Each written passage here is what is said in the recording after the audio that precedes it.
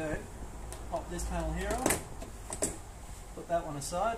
Next part, this bit here, slide your, uh, your panel tool in the side there, slide this across, that comes off. Next, grab your torque screwdriver and undo this screw, this screw, this screw, this screw, and your door trim comes off.